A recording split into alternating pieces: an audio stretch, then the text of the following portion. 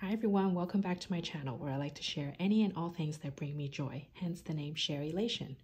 This video is somewhat of a continuation of the first video that I posted a little while back, which um, details out and shows my beautiful small Loewe puzzle bag. This is in the small size in the color uh, sand dune. I keep forgetting the actual color name. I have it in the video that I posted a while back and I'll provide it again down below.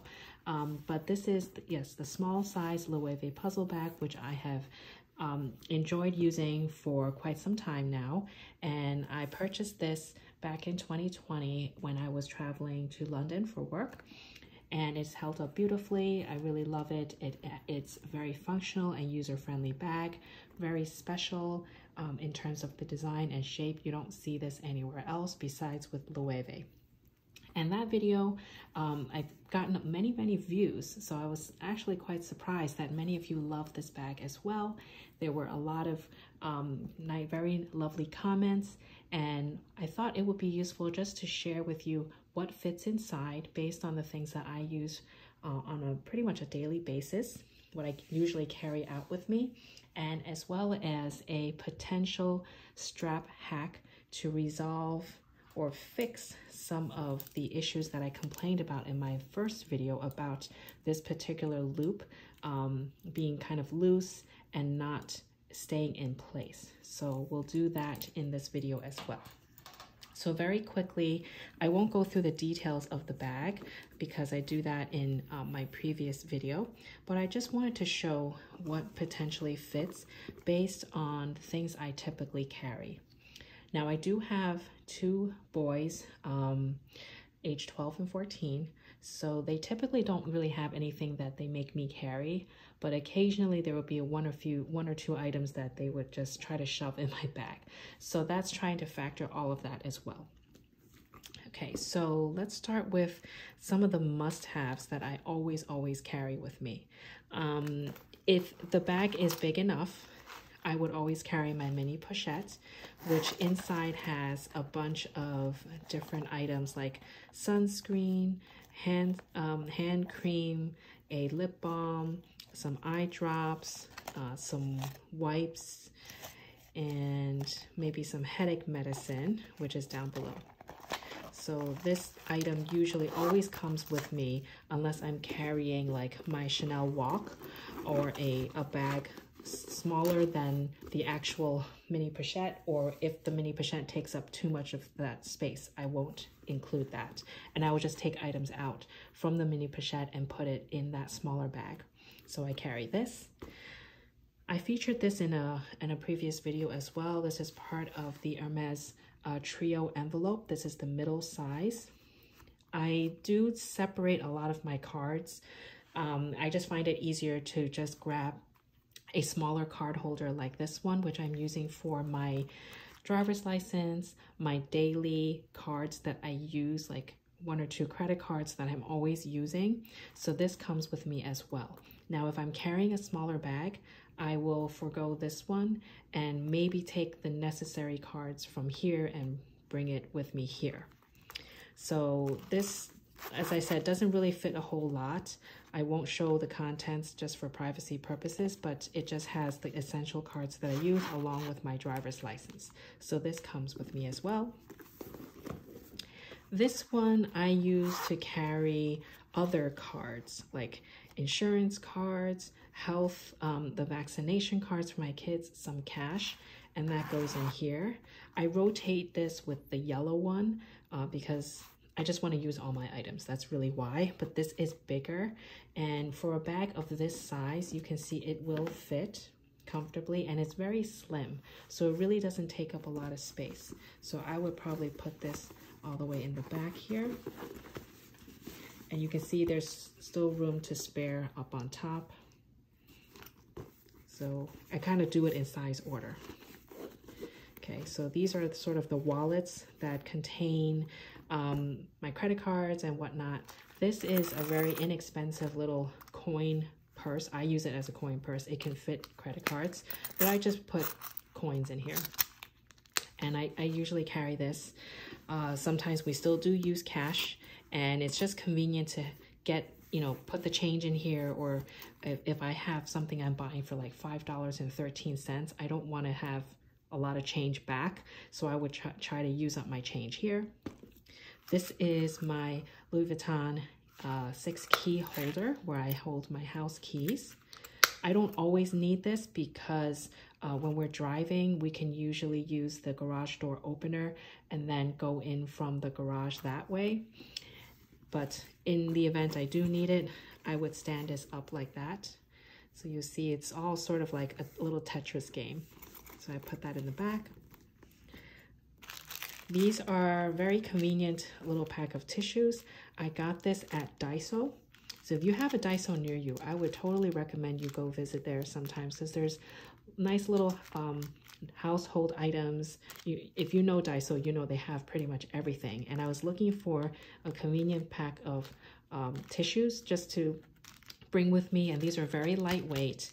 Um, they can probably even fold like this in half. And so I would just pop that in. It can even fit in my mini pochette, but I just wanted to show for the sake of this video that it can also fit in here sunglasses. Now that it's getting warmer um, in, in New York, the sun is coming out, I have these pair of polarized uh, Ralph Lauren sunglasses that I just put in this very flexible cloth-like material case and I would lay it on top, on top of um, all these items like this. This is easy access. Um, I never really carry this, but I just wanted to show every item or potential item that people might carry to in their bag. So this is a, a planner from Muji. Um, it's just a, a, standard planner with, you know, the day, the, the week and any notes that you need to put in. I often use the calendar feature to just plan out uh, what's going on with my kids' schedules, school activities, you know, games, concerts, whatnot. So this is a just a, an, an, any old kind of planner. I would put this all the way, all the way in the back because chances are you probably don't need to access it all the time. It's just something you would need with you. And of course, we're still in the days of needing hand sanitizer. Honestly, it's probably going to stay this way for a while.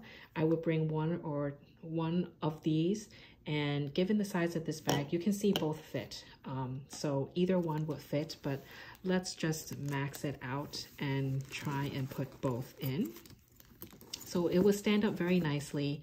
Because of the other items here, these would stand up and they won't kind of tip over or lay flat. But I would never really have to carry two hand sanitizers. This is just, just to show in this video. And if you have kids that have cell phones, you know that these items are very precious to them. I usually make them carry that carry this on their own. So these are um, external uh, power banks. So this is a very small one by Anker. It is literally the size of my hand, the palm of my hand. So it's very small and compact. This is heavier, literally like a brick um, of course can power more devices because it's more powerful but I just wanted to show in this video that these can fit as well. So I will probably put this in the back. Let's see if it will fit standing up. Probably not. I probably have to lay it flat but let's just try. Let's put this right here. It does stand up pretty nicely. I would probably put this like in the back corner somehow, but it does fit. And even this would fit. This can probably lay like on top or even stand next to it if I like take one san hand sanitizer out. Actually, I could probably fit all of this like so, as well as the sunglasses. And with the power banks, you of course need a charging cable. So I would probably put this like in the, the back pocket like that. And it fits nicely. This will end up being quite a heavy bag, but I just wanted to show you the potential of what can fit in this very unique and beautiful bag. In terms of the cell phone, I'm actually filming with my personal cell phone. This is my work phone. It's an iPhone 7, so of course it's smaller. It's shorter in height. I have the um, iPhone 12 Pro, not the Max. And I just wanted to show that it does fit the 7. It peeks out like this. Not too bad.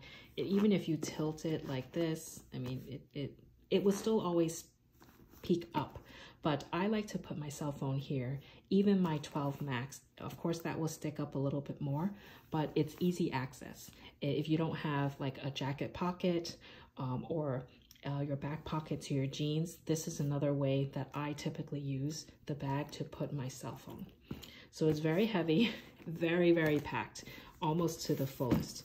It can zip without a problem, but you can see it, it really packs a ton and it keeps its shape. It's perfect just to carry everything you need. Okay, so that's just to show the potential of what can fit. I really don't carry all of this. Um, like I said, these, you know, like power banks, I make my kids carry it on their own, but I just wanted to show what could potentially fit. I usually would carry, um, i am gonna take out the things that I don't carry in my bag and just show you like what I normally use.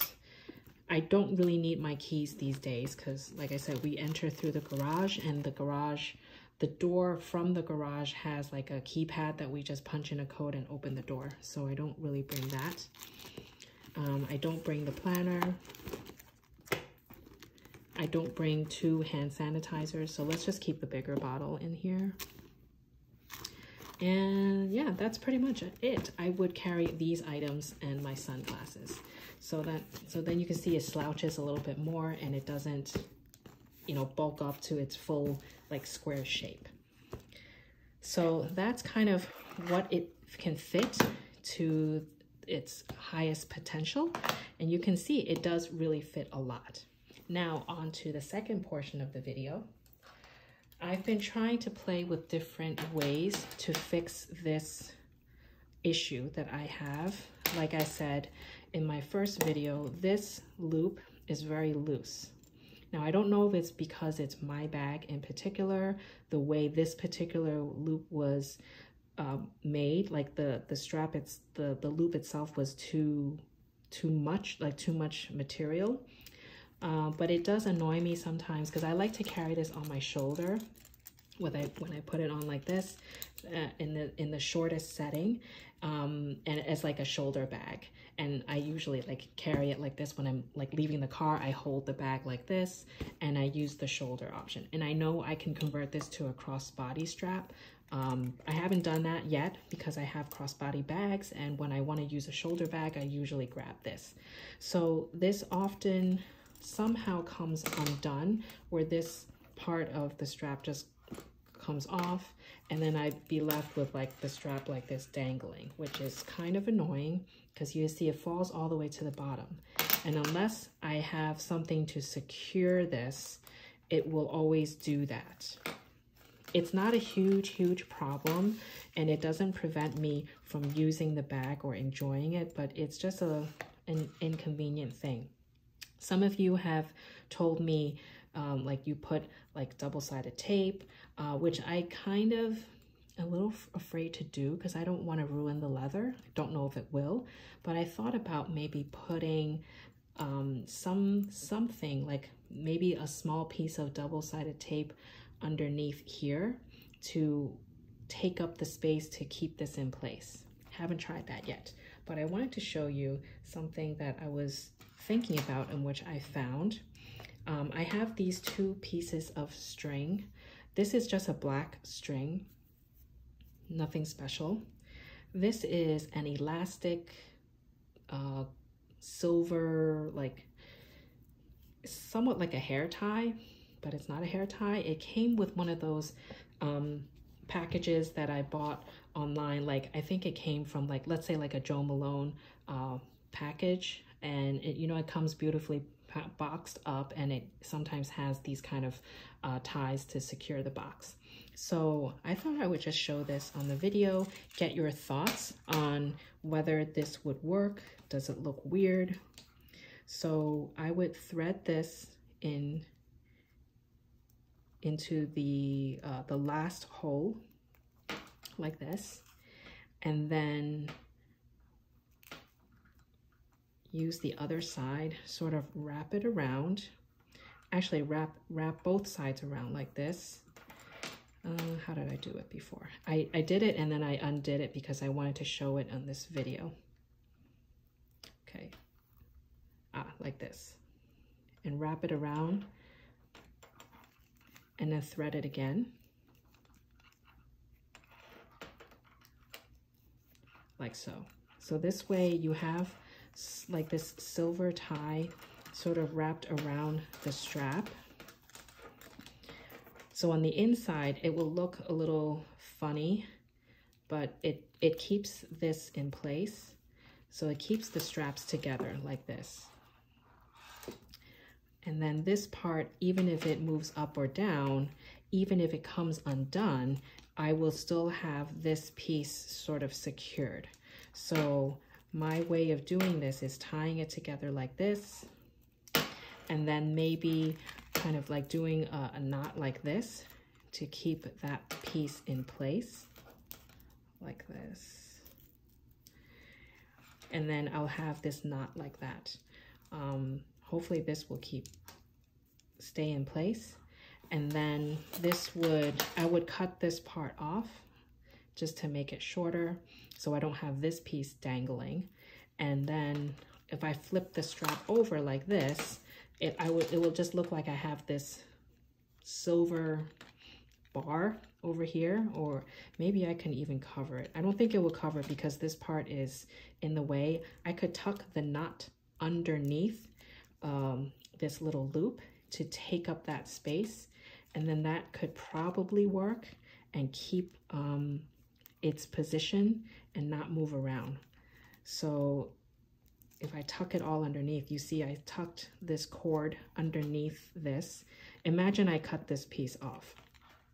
And if I tuck it more like this, um, it can work. It's not fully tucked right now, but more or less, you can see the knot underneath here has taken up that little extra space.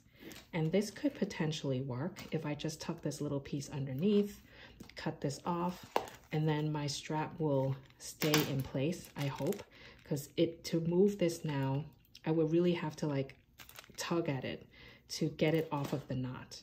So what do you think if I use a cord like this? This is flexible, like it has some elastic elasticity to it. This is just a regular like cord or rope. I could do the same thing with this um, and thread it through the same way and it's black. So even if it peeks through, at least it's kind of matching the glazing. What do you think of this hack? Do you think I should go for it? I mean, it won't harm the bag, I don't think. It may stretch this out a little bit, but honestly, this is already loose.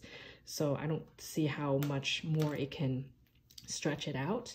And um, let me know if, if you think this is a good idea. I will probably give this a shot since I have this on anyway and try to you know, have the loop cover this and see if this works out for me as I use the bag a couple of times.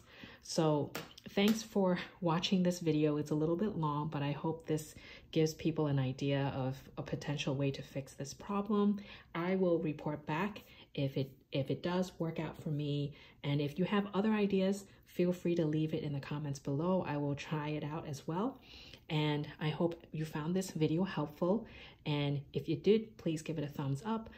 Please comment below if you have any questions, comments, or anything feel free to contact me through DM or through IG as well.